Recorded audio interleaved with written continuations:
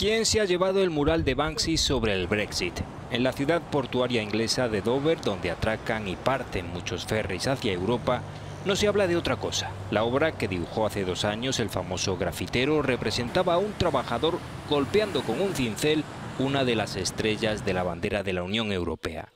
Este lunes, su lugar lo ocupa una pared pintada de blanco sobre la que se apoya un gran andamio. El edificio en cuestión es propiedad de los Golden, una rica familia que había evocado la posibilidad de vender el mural, aunque esta información no ha sido confirmada. Tampoco resultaría extraño que la obra haya sido robada o haya sufrido un acto de vandalismo.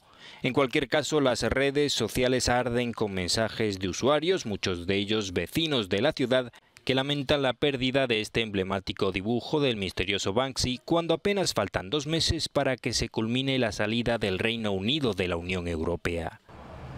Aunque pueda resultar paradójico, Dover, que vive en gran parte del tráfico marítimo con Europa, apoyó mayoritariamente el Brexit.